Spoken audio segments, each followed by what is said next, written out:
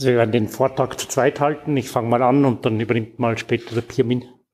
Äh, Cookies Web Client 2 ist die ganz relativ brandneue äh, zweite Generation vom Cookies Web Client.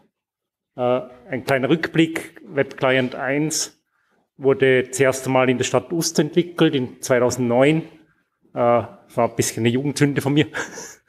äh, und verwendete OpenLayers 2, XJS 3 und GeoX 2. Ja, er war, der Grund, warum wir das gemacht haben, äh, war, dass er optimiert war für Cookies Server, konnte also diese proprietären, also die Vendor-Extensions von Cookies Server nutzen, so wie GetPrint und äh, erweiterte GetMap und Legend Graphic Sachen. Ähm, mit also nach Uster haben sich auch andere Entwickler beteiligt, Sourcepol, Jena und so weiter. Es wurde auch in 15 Sprachen äh, übersetzt und ist immer noch verfügbar auf, auf GitHub. Da gibt's aber keine neuen Änderungen mehr. Also das ist jetzt eigentlich äh, gestorben. So hat der ausgeschaut. Äh, mein Kollege aus dem Kanton Solothurn, Stefan Ziegler, hat immer gesagt, das sieht ja so aus wie in den 90s.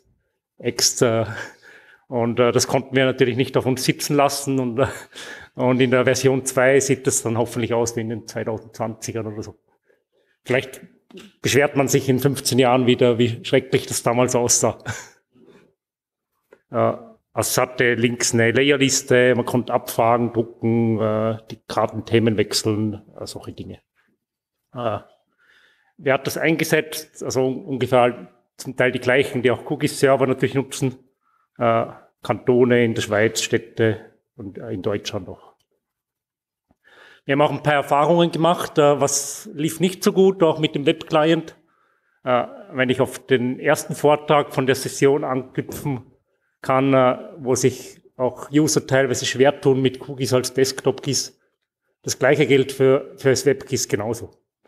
Und wer glaubt, dass es keine Schulungen braucht, dass die User das selbstständig alles rausfinden, was man machen kann, das ist auch nicht ganz die Realität.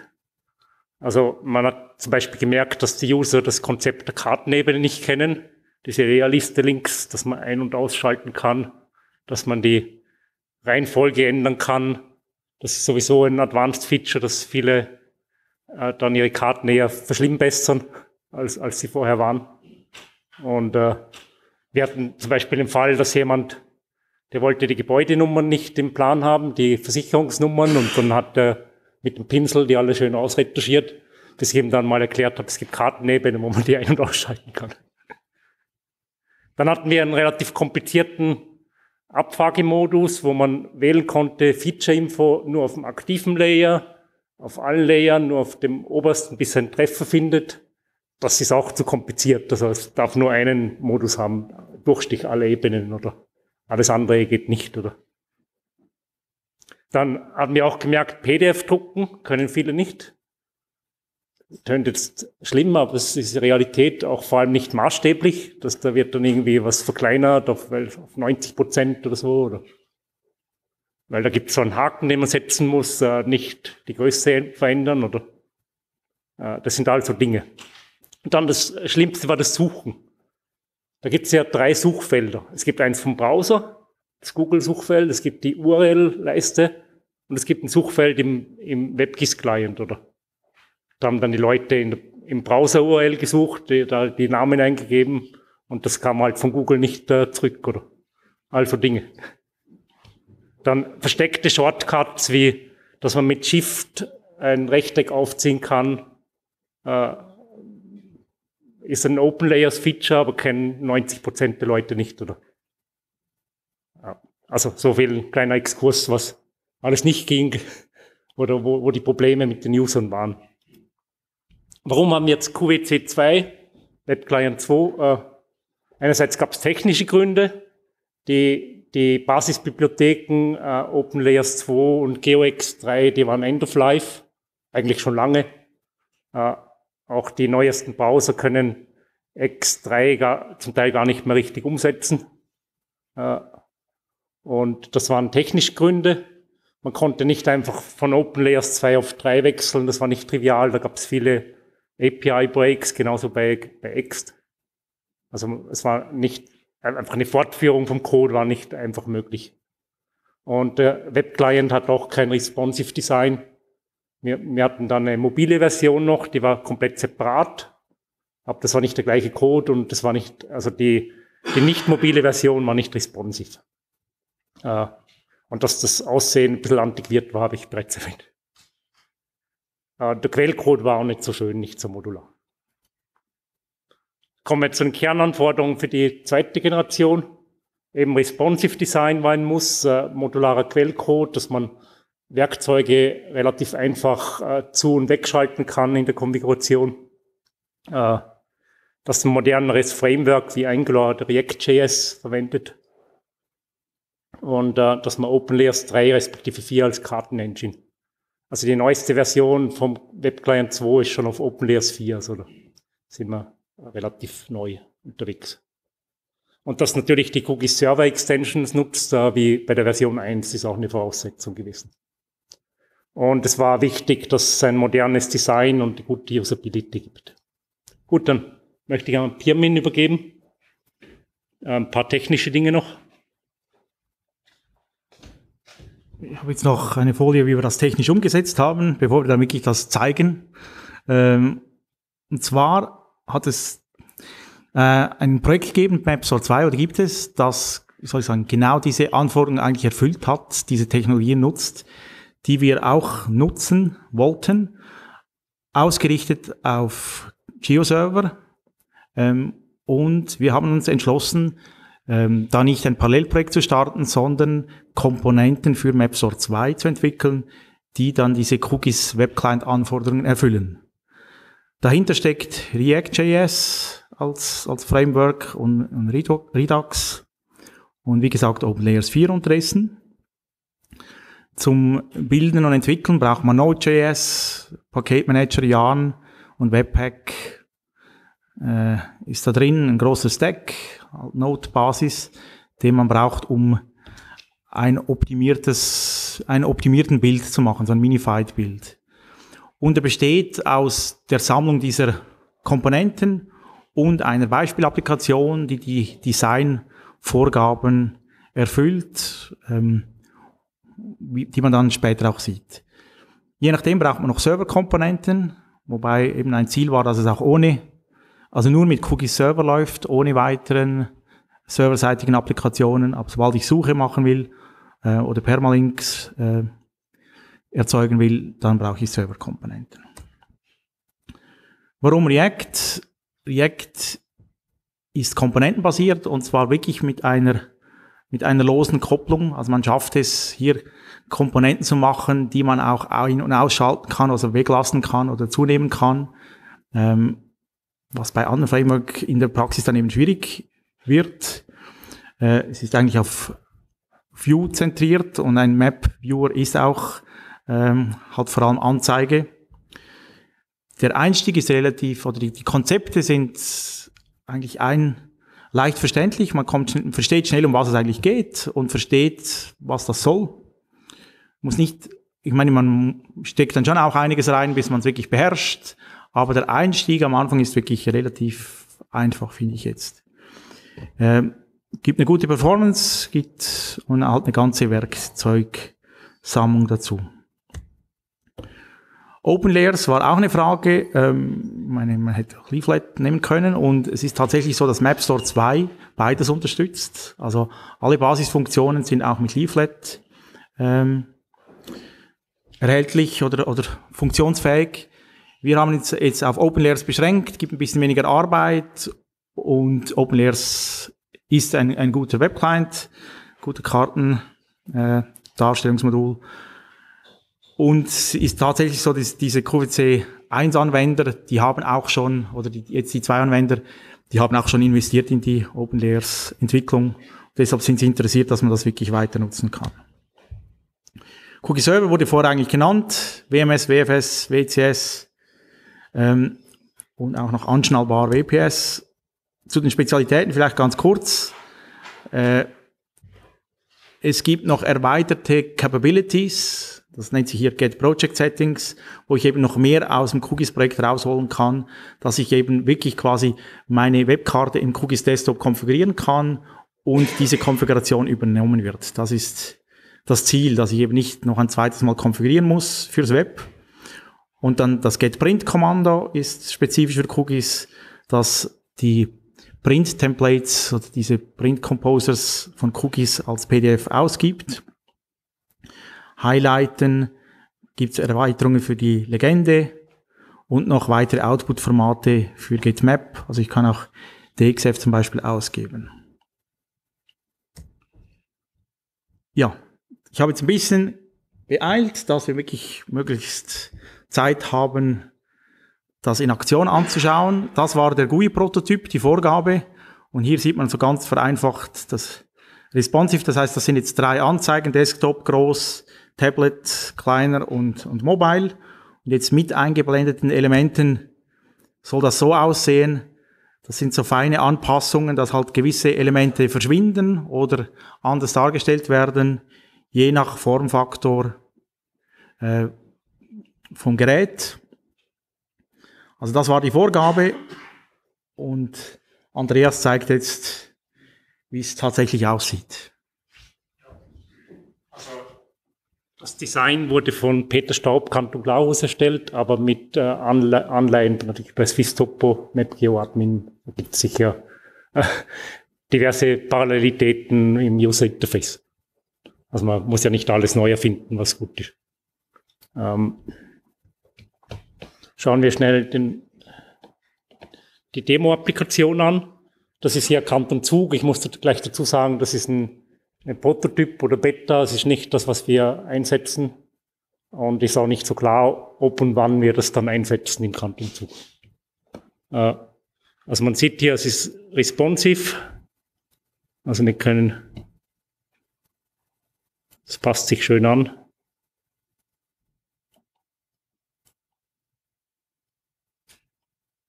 Dann, äh, also es kann Hintergrund WMS-Layer haben, äh, WMTS äh, oder WMS-Layer drüber dann.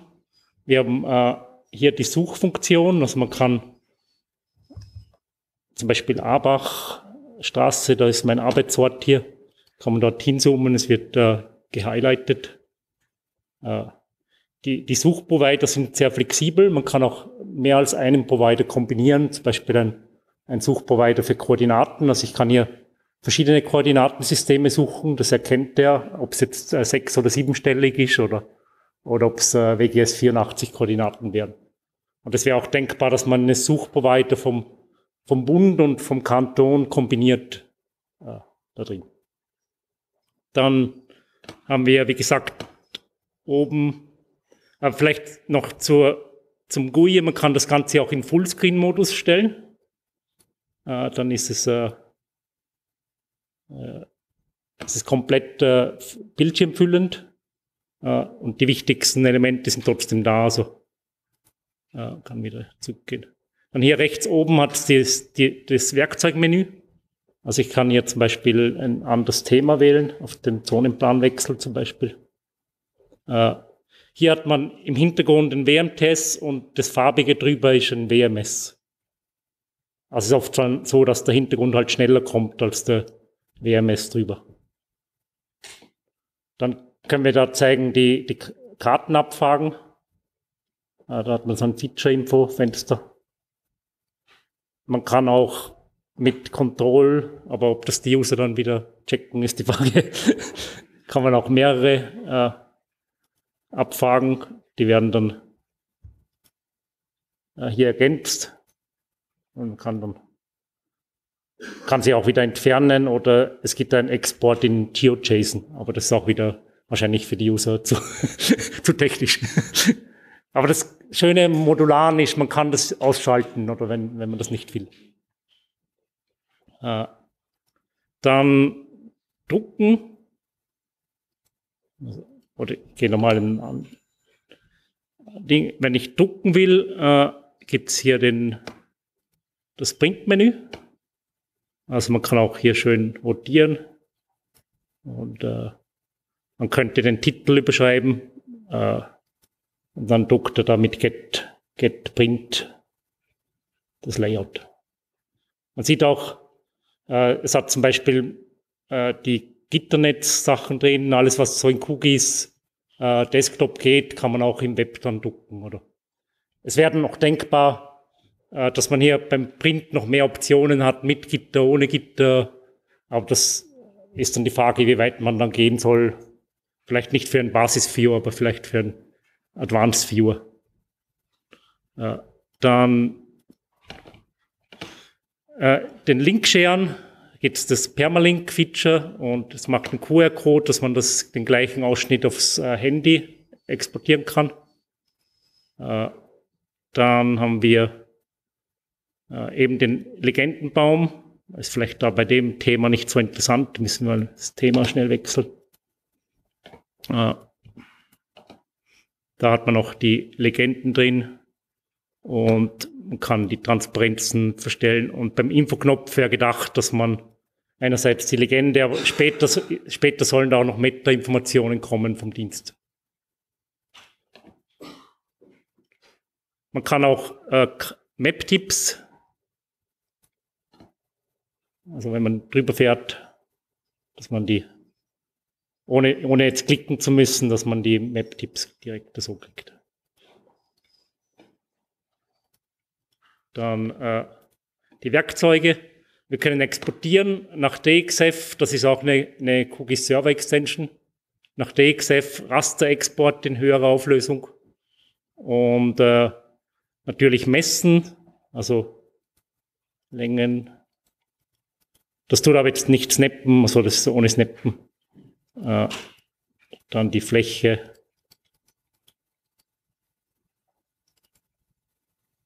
Kann man auch umschalten in Radkilometer. Und relativ neu drin, äh, noch nicht ganz fertig ausgereift sind diese Zeichenwerkzeuge. Ist auch da, finde ich jetzt noch ein wenig technisch, da mit Hex und so. also es gibt zwar so Color Picker, aber, aber dass man überhaupt Hex darstellt, finde ich jetzt nicht userfreundlich. Ja.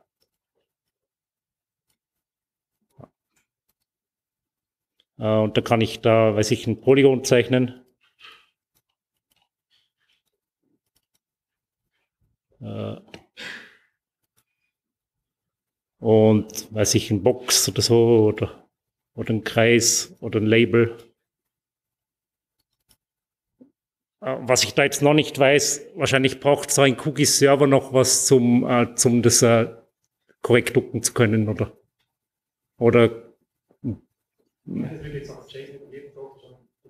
ja, okay. Ja, so im Groben sieht das so aus. Äh, man kann es auch, hier kann man auch den Hintergrund wechseln. Und was vielleicht noch speziell ist, da bei den Koordinaten kann man hier die, das Koordinatenreferenzsystem für die Anzeige wechseln.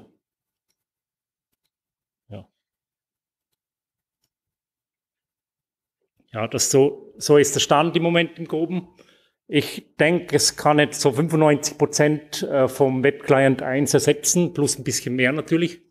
Und ich hoffe, äh, ihr geht mit uns einverstanden, dass es schön ausschaut, als, also optisch schön ausschaut als die letzte Version. Wobei das ist auch immer Geschmackssache, aber ich, ich denke, es sieht ja relativ ähnlich aus wie das Vistopo Viewer und der der kommt eigentlich bei den Kunden relativ gut an. Also sind wir da relativ auf der sicheren Seite. Ja, dann äh, kommen wir zu der letzten Folie. Wie kann man mitmachen? Weitere Pläne. Ja. Also geplant ist, diese Zeichenfunktionen noch abzuschließen, äh, dass das vielleicht weniger technisch daherkommt. Äh, das ist äh, von Schweden eine schwedische Entwicklerfirma und auch von der Stadt Christianstad finanziert. Digitalisierungsfunktionen. Äh, was jetzt noch nicht sehr konkret ist, aber sehr wünschenswert wäre diese Drag-and-Drop-Designer-Formulare, dass man die auch dem Web-Client übergeben kann äh, mit den Widgets und so. Aber das ist äh, sicher mehr Aufwand. Äh, da gibt es auch noch keine Finanzierung dafür. Äh, einbinden externe Webdienste Dann, man kann ja bereits DXF und Raster rauslassen. Da wäre denkbar, dass man auch noch Tier-Packages und wenn es sein muss, auch Shapes exportieren kann. Ja, das könnte man über OGA anbinden. LDAP einbinden. Und das allerletzte ist auch ein großer Wunsch natürlich, weil im Moment muss sich der Administrator noch mit JSON-Files umschlagen. Also die Konfiguration passiert mit JSON und das ist halt auch wieder recht technisch. Äh, da wäre es sehr schön, wenn man einen GUI hätte in Cookies Desktop, wo man die Server-Konfiguration vornehmen, also die, nein, die Web-Client-Konfiguration vornehmen können. So. Aber auch das ist etwas mehr Aufwand und hat noch keine Finanzierung. Das sind die, die oberen Organisationen, die das bisherige finanziert haben im Web Client 2. Äh, und äh, es wurde hauptsächlich von SourcePol entwickelt. Sandro Mani, er ist jetzt nicht hier, aber er ist da, er ist auch sehr angenehm zum Zusammenarbeiten. Also da, da kommt man sehr schnell Antwort, äh, Rückmeldungen und äh, unkompliziert. Also mir hat es recht Freude gemacht, obwohl mein Kanton jetzt dort konkret nichts mitfinanziert, habe ich trotzdem äh, mitgeholfen, getestet, installiert und so weiter. Äh, und es war sehr, sehr schön, da mitarbeiten zu können. Äh, wie, kann, wie könnt ihr mitmachen, wenn ihr wollt? Äh, es gibt eine Mailingliste. Es gibt, oh, die, die habe ich hier gar nicht erwähnt, aber die ist auf der Cookies.org-Seite. Da findet man die ganz am Schluss. Das sind die GitHub-Links. Und es ist Open Source, so wie jede also, es ist echt klar, wie es funktioniert, da muss ich nichts dazu sagen. Gut, Dankeschön.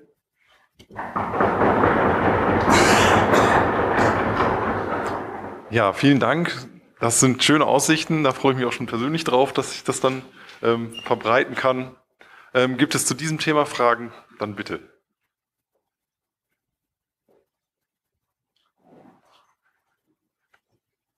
Ja, Herr äh, mich würde interessieren, ob ähm, die Darstellung äh, gecustomized werden kann, ob es sowas wie eine Template Engine gibt, dass man ähm, ja die das Erscheinungsbild Benutzer definiert verändern kann. Das wäre so die eine Frage. Und die zweite Frage ist, wenn man äh, benutzerspezifische Entwicklungswünsche hat, äh, gibt es da quasi eine API, äh, dass ähm, eigene Module sozusagen da erweitert werden können, dass die eigenen Module ähm, den Funktionsumfang des Webclients ergänzen. Ja, also die, für die Farben, da gibt es ein eigenes ausgelagertes CSS-File. Und das Logo, das sind SVG-Dateien. Und zwar gibt es zwei Logos. Einmal eine große Version und eine kleine Version, das bei Responsive dann auf die kleine wechseln kann. Zum Beispiel hier, dass dann das Maps Geo ZG wegfällt und noch das Kantonswappen zum Beispiel da kommt, oder? Das kann man sehr einfach tauschen, auch sämtliche Farben hier, das, das ist grau, die Buttons, das sind, glaube ich, teilweise SVG-Dateien. Und äh, dann hier zu diesen Menüs, da kann ich sehr, also welche Werkzeuge zum Beispiel kommen, das kann man sehr modular konfigurieren, auch wieder in JSON. Ja. Noch einmal konkret nachgefragt, ähm, der Layers-Bereich, könnte der auch anders dargestellt werden noch?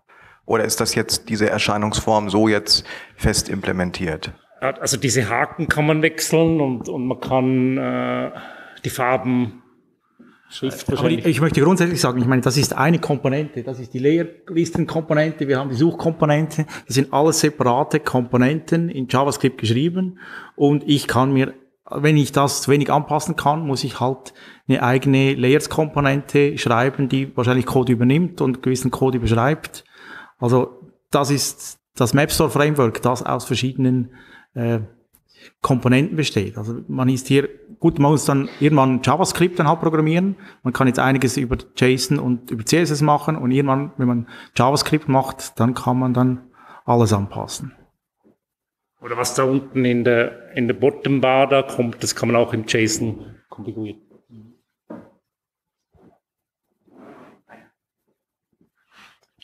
Gibt es noch eine weitere Frage? Ja, ich komme mal rüber.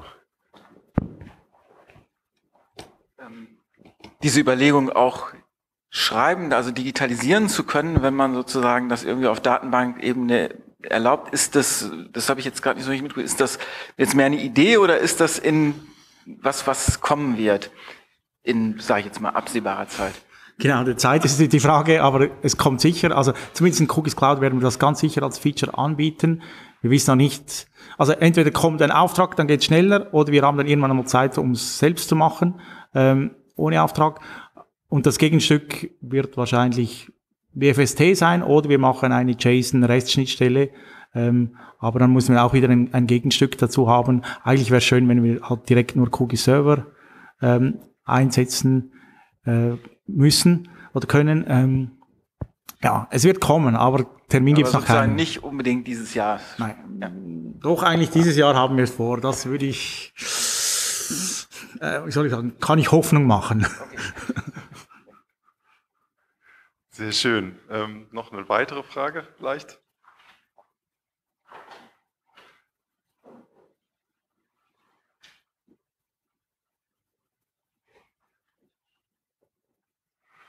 Ja, es ist mehr eine Usability-Frage bezüglich äh, Responsive Design. Ich weiß nicht, ob ihr da Meinungen, Erfahrungen habt. Äh, die Desktop-Umgebung und wenn ich irgendwo im Feld bin mit einem Tablet, ist doch ein recht großer Unterschied und da seid ihr äh, zuversichtlich, dass ich da eben, dass das der richtige Approach ist, äh, eine Code-Basis Responsive Design. Also wir denken, es, man kann jetzt für so eine Kartenapplikation eigentlich eine gute Lösung machen, die auch mobil gut benutzbar ist. Ich meine, das äh, zeigen kann, andere auch. Könnt ihr ausprobieren, ja. also die Adresse. Also die Adresse könnt ihr reintippen im Mobile und dann selber eine Meinung bilden. Ähm, aber ja, es gibt unterdessen auch schon wieder den, den übernächsten Trend quasi, dass man sagt, ja, man muss unbedingt auch für die Mobiles halt wieder eine eigene Applikation schreiben. Ähm, wir glauben, dass jetzt hier beim Kartenviewer ähm, mit dem Responsive Design wirklich eine gute Lösung machen kann. Klar, beim Digitalisieren und so wird es schon ein bisschen knifflig, ähm, aber alles, was hier ist, kann man wirklich gut bedienen auf, auf einem kleinen Mobile Phone.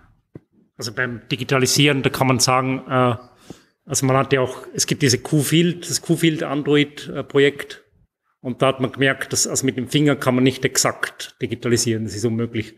Und was man dort gemacht hat, ist, dass man eigentlich die ganze Karte schiebt und man hat ein Fadenkreuz und dann schiebt man das Fadenkreuz, das recht präzise ist, mit einer dünnen Linie, schickt, äh, schiebt man in die Mitte und dann setzt man die Punkte ab, oder? Das wäre vielleicht eine Möglichkeit, das so umzusetzen, wenn man das wirklich will, aber ja, ob man wirklich jetzt mit einer Web-Applikation Felddaten erfassen muss. Also wir, wir haben jetzt das, wahrscheinlich nicht gerade die Anforderung, aber da, da finde ich, ist auch gerechtfertigt, etwas wie, wie Q-Field oder, oder Geopaparazzi oder irgend so eine wirklich spezialisierte Datenerfassungsapplikation zu nutzen.